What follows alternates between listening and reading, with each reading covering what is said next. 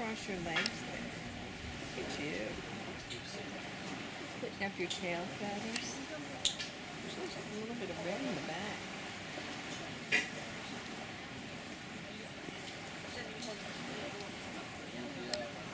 What a pretty beak.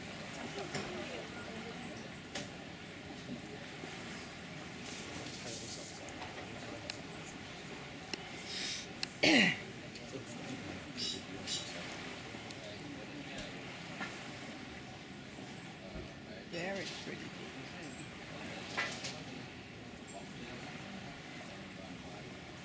I'm sorry, there's nothing mm. left. We were piggish.